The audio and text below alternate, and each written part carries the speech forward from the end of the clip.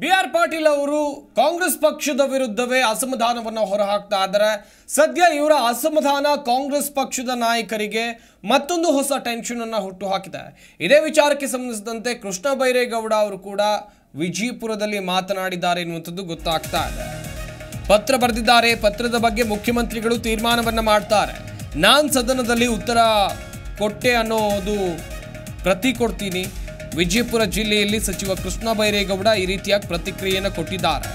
ಸಿದ್ದರಾಮಯ್ಯ ಕಡೆಗೆ ಬೊಟ್ಟು ಮಾಡಿದ್ದಾರೆ ಇಲ್ಲಿ. ಕೃಷ್ಣ ಬೈರೇಗೌಡ ಸದನದಲ್ಲಿ ಮಾತನಾಡಿದ ಪ್ರತಿ ಮಾಧ್ಯಮಗಳ ಎದುರಿಗೆ ಬಿಡುಗಡೆಯನ್ನು ಕೂಡ ಸಚಿವ ಕೃಷ್ಣ ಬೈರೇಗೌಡರು ಮಾಡಿದ್ದಾರೆ. ಎಲ್ಲವೂ ಸಿದ್ದರಾಮಯ್ಯ ಕಡೆಗೆ ಬೊಟ್ಟು ಮಾಡಿದ್ದಾರೆ ಇಲ್ಲಿ ಕೃಷ್ಣ ಬೈರೇಗೌಡರು. ಅದರಲ್ಲಿ ಏನು ಹೇಳಿದ್ದೇನೆ ಅದನ್ನ ನೀವು ತೀರ್ಮಾನ ಮಾಡಬಹುದು. ಅಂತಿಮವಾಗಿ ಸಿಎಂ ನಿರ್ಧಾರ ತೆಗೆದುಕೊಳ್ತಾರೆ, ಈ ಬಗ್ಗೆ ನಿರ್ಧಾರವನ್ನು ತೆಗೆದುಕೊಳ್ತಾರೆ ಎನ್ನುವುದಾಗಿ ವಿಜಯಪುರ ಜಿಲ್ಲೆಯಲ್ಲಿ ಸಚಿವ ಕೃಷ್ಣ ಬೈರೇಗೌಡ ಅವರು ಈ ಹೇಳಿಕೆಯನ್ನ ಕೊಟ್ಟಿದ್ದಾರೆ.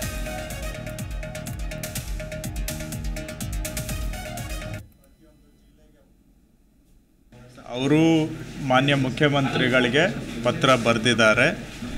ಪತ್ರದ ಬಗ್ಗೆ ಮಾನ್ಯ ಮುಖ್ಯಮಂತ್ರಿಗಳು ಅವರ ತೀರ್ಮಾನವನ್ನು ಮುಖ್ಯಮಂತ್ರಿಗಳು ತೆಗೆದುಕೊಳ್ತಾರೆ. ನಾನು ಸದನದಲ್ಲಿ ಏನು ಉತ್ತರ ಕೊಟ್ಟಿದ್ದೀನಿ ಅನ್ನೋದು ನಿಮಗೆ ನಾನು ಕಾಪಿ ಕೊಡ್ತೇನೆ. ಅದರಲ್ಲಿ ಏನು ಹೇಳಿದ್ದೀವಿ ಏನು ಬಿಟ್ಟಿದ್ದೀವಿ ಅದನ್ನು ನೀವೇ ತೀರ್ಮಾನ ಮಾಡ್ಬೋದು. ಅಂತಿಮವಾಗಿ ಅದ್ರ ಬಗ್ಗೆ ಮುಖ್ಯಮಂತ್ರಿಗಳು ತೀರ್ಮಾನ ತಗೊಳ್ತಾರೆ. ಅಲ್ಲ ಸರ್ ನಮಗೆ ಅಪಮಾನ ಆಗಿದೆ. ನನ್ನ ಮೇಲೆ ಡೌಟ್ ತಗೊಂಡು ತಾವು ಇದನ್ನ ಓದ್ಬಹುದು ನಂತರ ನಾನು ನೀವು ಇದನ್ನ ತೆಗೆದುಕೊಂಡು ಓದ್ಬಹುದು ಅದನ್ನ ತಮ್ಮ ತೀರ್ಮಾನಕ್ಕೆ ಬಿಡ್ತೇನೆ ನಾನು. ಯಾಕೆ ಆ ರೀತಿ ಹೇಳ್ತಾ ಇದ್ದಾರೆ ಸರ್? ನೀವು ಮಾತಾಡಿಲ್ಲ ನೋಡಿ ಯಾರು ಏನು ಹೇಳ್ತಾರೆ ಅವ್ರ ಬಗ್ಗೆ ಇವ್ರ ಬಗ್ಗೆ ನಾನು ಮಾತಾಡ್ಲಿಕ್ಕೆ ಹೋಗೋದಿಲ್ಲ. ನಾನು ಇವತ್ತು ಬಿಜಾಪುರ ಜಿಲ್ಲೆಯಲ್ಲಿ ಇದ್ದೇನೆ. ಇಲ್ಲಿನ ಸಮಸ್ಯೆಗಳನ್ನು ರಾಜ್ಯದಲ್ಲಿ ಬರಗಾಲ ಇದೆ. ಕಂದಾಯ ಇಲಾಖೆಯಲ್ಲಿ ಜನಗಳ ಸಮಸ್ಯೆಗಳಿದ್ದಾವೆ ಅದನ್ನು ಇಲ್ಲೇ ಪ್ರತಿಯೊಂದು ಜಿಲ್ಲೆಗೆ ಹೋಗಿ ಅಲ್ಲೇ ಕುಂತು ಸಮಸ್ಯೆ ಪರಿಹಾರ ಮಾಡಬೇಕು ಅನ್ನೋ ಉದ್ದೇಶದಿಂದ ಬಿಜಾಪುರ ಜಿಲ್ಲೆಗೆ ಬಂದಿದ್ದಾನೆ. ಜನಗಳ ವಿಷಯ ಏನಾದರೂ ಇದ್ದರೆ ನಾನು ತಮ್ಮ ಜೊತೆಗೆ ಚರ್ಚೆ ಮಾಡ್ತೇನೆ. ಇನ್ನು ಬೇರೆದು ಅದು ಇದು ಅಂಥೇಳಿ ಸುಮ್ಮನೆ ನಾನು ಕಾಂಟ್ರವರ್ಸಿ ಕ್ರಿಯೇಟ್ ಮಾಡೋದಕ್ಕೆ ಅಥವಾ ಸುಮ್ಮನೆ ಅದು ಮಾಡೋದಕ್ಕೆ ನಾನು ಇಲ್ಲಿ ಬಂದಿಲ್ಲ. ಮುಖ್ಯಮಂತ್ರಿಗಳು ಈ ವಿಷಯದ ಬಗ್ಗೆ ಏನು ತೀರ್ಮಾನ ತೆಗೆದುಕೊಳ್ತಾರೆ, ಅದು ಮುಖ್ಯಮಂತ್ರಿಗಳಿಗೆ ಎಲ್ಲ ಸಾಮರ್ಥ್ಯ ಇದೆ, ಅವರಿಗೆ ಅನುಭವ ಇದೆ ತನಿಖೆ ಬಳಿಕವೇ ಸದನಕ್ಕೆ ಹಾಜರಾಗ್ತೀನಿ ಅಂತ ಬಿ ಆರ್ ಪಾಟೀಲ್ ಒಂದ್ ಕಡೆಯಲ್ಲಿ ಹೇಳಿಕೆಯನ್ನ ಕೊಟ್ರೆ. ಬಿ ಆರ್ ಪಾಟೀಲ್ ಮುಖ್ಯಮಂತ್ರಿಗೆ ಪತ್ರವನ್ನ ಬರೆದಿದ್ದಾರೆ. ಸಿದ್ದರಾಮಯ್ಯನವರಿಗೆ ಈಗಾಗಲೇ ಬಿ ಆರ್ ಪಾಟೀಲ್ ಅವರು ಲೆಟರ್ ಅನ್ನ ಬರೆದಿದ್ದಾರೆ. ತನಿಖೆ ಮಾಡೋದು ಬಿಡೋದು ಅವರಿಗೆ ಬಿಟ್ಟಿದ್ದು. ತನಿಖೆ ಬಗ್ಗೆ ಪ್ರತಿಕ್ರಿಯೆ ನೀಡೋದು ಪ್ರಸ್ತುತ ಅಲ್ಲ. ವಿಜಯಪುರದಲ್ಲಿ ಈ ಹೇಳಿಕೆಯನ್ನ ಕೊಟ್ಟಿರುವುದು ಸಚಿವ ಕೃಷ್ಣ ಬೈರೇಗೌಡ ಅವರು.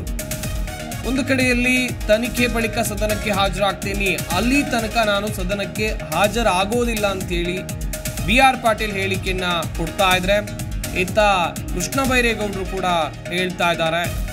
ಮುಖ್ಯಮಂತ್ರಿಗಳನ್ನ ಭೇಟಿಯಾಗ್ಲಿ, ಅವರಿಬ್ರು ಮಾತನಾಡ್ಲಿ. ತನಿಖೆ ಮಾಡೋದು ಬಿಡೋದು ಅವ್ರಿಗೆ ಬಿಟ್ಟಿರೋ ವಿಚಾರ. ತನಿಖೆ ಬಗ್ಗೆ ನಾನು ಯಾವುದೇ ಪ್ರತಿಕ್ರಿಯೆಯನ್ನು ನೀಡೋದಿಲ್ಲ ಅಂಥೇಳಿ ಕೃಷ್ಣ ಬೈರೇಗೌಡ ಪ್ರತಿಕ್ರಿಯೆಯನ್ನು ಕೊಟ್ಟಿದ್ದಾರೆ. ನನಗೆ ಬರೋದಿಲ್ಲ. ಪತ್ರನೂ ಮುಖ್ಯಮಂತ್ರಿಗಳಿಗಿದೆ. ಸೊ ಬಿಟ್ವೀನ್ ದ ಮುಖ್ಯಮಂತ್ರಿಗಳು ಹಾಗೂ ಆ ಇಲಾಖೆಯವರಿಗೆ ಸಂಬಂಧಪಟ್ಟ ಹಾಗೆ ತನಿಖೆ ಮಾಡೋದು ಬಿಡೋದು ಅವರಿಗೆ ಬಿಟ್ಟಂಥ ವಿಚಾರ.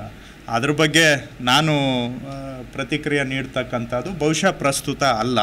ಇಲಾಖಾ ಮಂತ್ರಿಗಳಿದ್ದಾರೆ ಮುಖ್ಯಮಂತ್ರಿಗಳಿದ್ದಾರೆ ಅವರಿಬ್ಬರ ನಡುವೆ ಏನು ತೀರ್ಮಾನ ಮಾಡ್ತಾರೆ ಅದನ್ನು ನಾವು ಜಾರಿ ಮಾಡ್ತೀವಿ. ನೋಡಿ ಅದು ಇಲಾಖೆನೂ ನನಗೆ ಬರೋದಿಲ್ಲ. ಪತ್ರನೂ ಮುಖ್ಯಮಂತ್ರಿಗಳಿಗಿದೆ. ಸೊ ಬಿಟ್ವೀನ್ ದ ಮುಖ್ಯಮಂತ್ರಿಗಳು ಹಾಗೂ ಆ ಇಲಾಖೆಯವರಿಗೆ ಸಂಬಂಧಪಟ್ಟ ಹಾಗೆ ತನಿಖೆ ಮಾಡೋದು ಬಿಡೋದು ಅವರಿಗೆ ಬಿಟ್ಟಂಥ ವಿಚಾರ. ಅದ್ರ ಬಗ್ಗೆ ನಾನು ಪ್ರತಿಕ್ರಿಯೆ ನೀಡ್ತಕ್ಕಂಥದ್ದು ಬಹುಶಃ ಪ್ರಸ್ತುತ ಅಲ್ಲ. ಇಲಾಖಾ ಮಂತ್ರಿಗಳಿದ್ದಾರೆ ಮುಖ್ಯಮಂತ್ರಿಗಳಿದ್ದಾರೆ ಅವರಿಬ್ಬರ ನಡುವೆ ಏನು ತೀರ್ಮಾನ ಮಾಡ್ತಾರೆ ಅದನ್ನು ನಾವು ಜಾರಿ ಮಾಡ್ತೀವಿ. ನೋಡಿ ಅದು ಇಲಾಖೆನೂ ನನಗೆ ಬರೋದಿಲ್ಲ. ಪತ್ರನೂ ಮುಖ್ಯಮಂತ್ರಿಗಳಿಗಿದೆ. ಸೊ ಬಿಟ್ವೀನ್ ದ ಮುಖ್ಯಮಂತ್ರಿಗಳು ಹಾಗೂ ಆ ಇಲಾಖೆಯವರಿಗೆ ಸಂಬಂಧಪಟ್ಟ ಹಾಗೆ ತನಿಖೆ ಮಾಡೋದು ಬಿಡೋದು ಅವರಿಗೆ ಬಿಟ್ಟಂಥ ವಿಚಾರ. ಅದ್ರ ಬಗ್ಗೆ ನಾನು ಪ್ರತಿಕ್ರಿಯೆ ನೀಡ್ತಕ್ಕಂಥದ್ದು ಬಹುಶಃ ಪ್ರಸ್ತುತ ಅಲ್ಲ.